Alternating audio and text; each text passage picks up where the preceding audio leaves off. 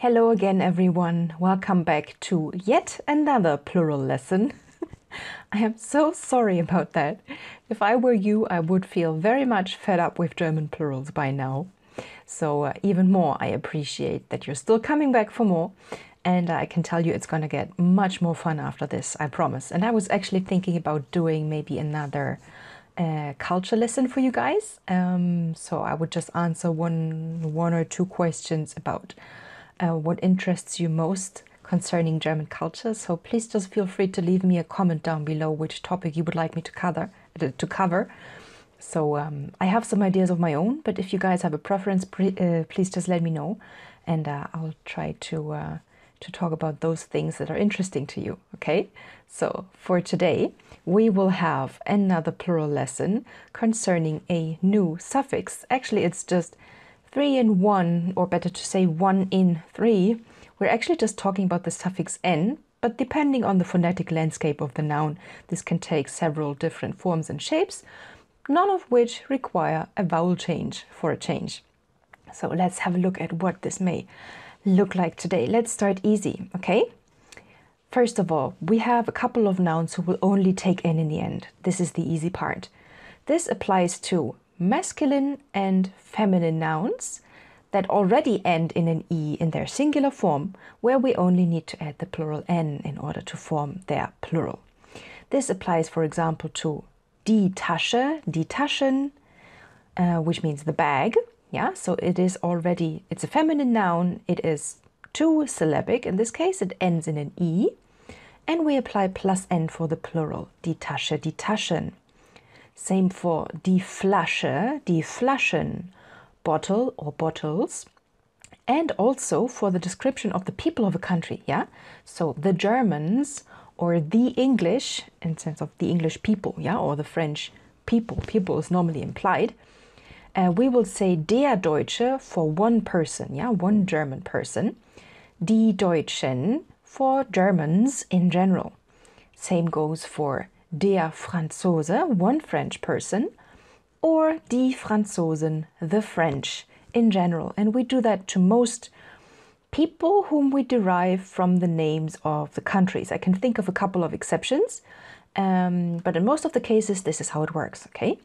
So this was about ending plus n only. Now, it gets a little bit more Mm, it's not tricky. It's really rather quite simple. Yeah. So let's let me show you how it works. We will apply the ending en to many, not all, masculine and feminine nouns that can have a wide list of possible endings.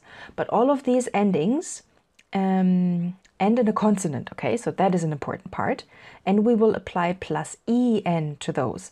And that is the, the reason because going from a final consonant to another plural consonant feels uncomfortable and weird to the tongue. So this is actually just another filling E that we already know from regular verb conjugations that end in DT, N, M. Yes, exactly, those four. DT, N, M, because the S sounds were about something else. Okay, so we had a filling E after the verb stem of those um, of those verbs so that we would ease the pronunciation, yeah, the transition from the verb stem to the conjugation ending. And we kind of just do the same here from the noun stem to the plural ending, yeah? So that is all this E is about. It's because of the consonant here. So we can consider this extra E as a filling vowel between the noun ending and the plural ending N. What does this look like now? By default, you can imagine that if you compare it to all of the other rules that we have previously discussed before, yeah? If the noun is not monosyllabic and it ends in a consonant, you can try to add plus en as the plural ending because that is your best guess.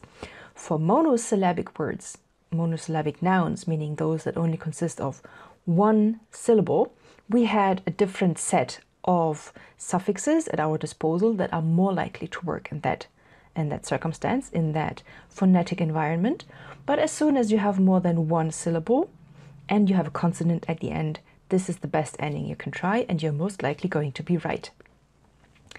More precisely speaking, the following endings always take en in the plural forms. For masculine nouns, those nouns ending in end, as in der Student, which takes the plural form die Studenten. The ending ant, as in der Musikant, die Musikanten. The ending ist, as in der Polizist, which then goes die Polizisten. And nouns ending, uh, masculine nouns ending in or, as in der Motor, plural, die Motoren. Okay, we have more than one syllable, we have a consonant at the end, we add en, and we are right here. There are a couple of feminine noun endings, actually quite quite a bit more than for the masculine ones, where you can always safely apply plus en and it's going to be the right one, yeah? So those feminine nouns ending in ion, as in die Nation, die Nationen. It's quite noisy outside, can you hear that? It's either a plane landing next to my house or they're picking up the trash. I guess it's the second option. Okay. Ion, die Nation, die Nationen. Ik, die Politik, die Politiken, although this is really quite rare. I haven't, I haven't really heard that very often, yeah? Nouns ending in heit, as in die Krankheit, sickness or illness, yeah? Krankheiten. Feminine nouns ending in keit, die Einsamkeit, Einsamkeiten, loneliness. Äh, schaft, die Freundschaft, die Freundschaften, friendship. Tät, as in Nationalität, Nationalitäten. And with the ending ung, as in die Übung, exercise, which then takes the plural form Übungen. So there are two ways you can go about this. You can try to study these endings individually, which yeah, it will not take you too much effort, frankly speaking. If you can, this is the better choice. Okay, try to do that. If you cannot or you, or you don't want to invest the the effort at this point in time, just refer to this rule: more than one syllable, ending consonant, add plus en, and it's probably going to end up at the same solution. Okay, so this was actually very comparable to plus n, just that because here we already had a vowel as the last letter in the singular word, plus n was enough. Here we do not have that, so we need to fill the e in between in order to get to the same ending. Now, there's one last option, the ending N-E-N, okay, which is a very particular case. We only apply it to a certain kind of feminine nouns. I'm show you I'm going to show you now. So, when we have a masculine noun, we can form their feminine counterparts usually by adding the ending en, yeah, in to the end of the masculine version of the noun. And we normally do that with job titles or nouns that describe people in some sense, yeah? For example, as in der Kellner, which is the masculine version of the waiter in a restaurant, okay? We add plus en to make the feminine equivalent of that, the waitress, die Kellnerin.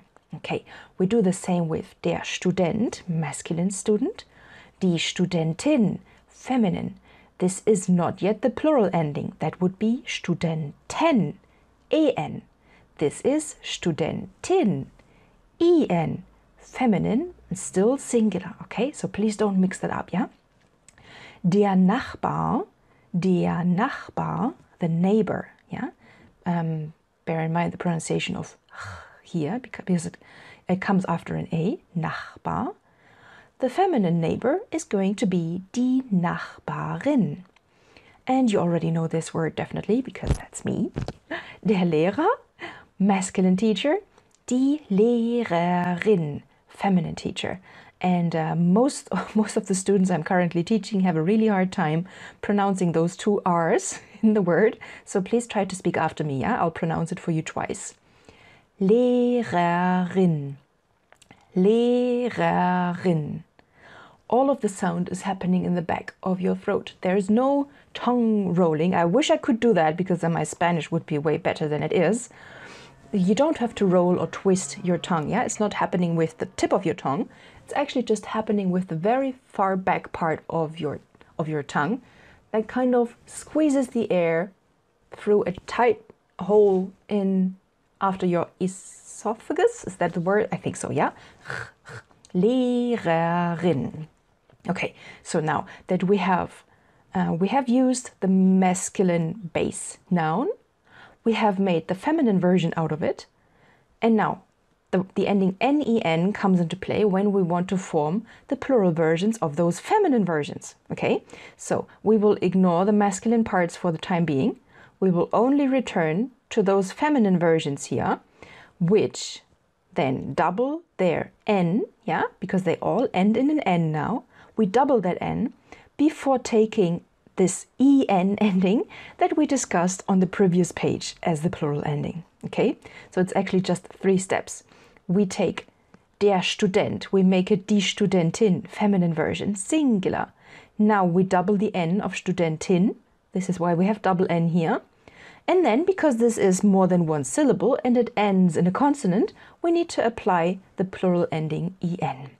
So it's the same logic that I already explained to you about uh, five minutes ago, just that it's a very particular case for feminine persons or job titles that take this double N, yeah? This is the exception here. The waitress, die Kellnerin in singular, now becomes die Kellnerinnen, the waitresses. Die Nachbarin, sorry, wrong pronunciation myself, die Nachbarin, neighbor, the neighboress, the neighboresses, die Nachbarinnen, um, feminine plural, die Lehrerin, feminine teacher singular, die Lehrerinnen, feminine teachers plural.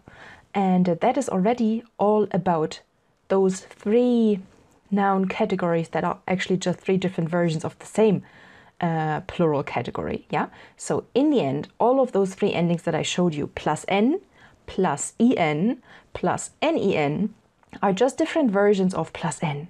Only that sometimes we're going to need a filling letter uh, that needs to be added in order to make the n ending attachable. Okay, we are just adding a couple of letters in between to make the plural n attachable to the, mm, the base noun, depending on the phonetic landscape of that noun. So I think that was that was not too complex, not too complicated, not too difficult. We will practice that in depth in the exercise and revision lesson in the lesson after the next one. Yeah, next one is going to be quite short. I hope I'll try. I promise I will try. And for now, I just would like would just like to to tell you guys, please don't give up. Um, we are going to have one more uh, theory lesson on plurals only, and then we're going to be done with this part, and we'll have very big revision exercise section, so that you have you will have mastered the plurals in German once and for all. Uh, I believe you can make it. Thank you for your motivation and for your support, and I'm going to see you again in the next lesson. Bis dann. Tschüss.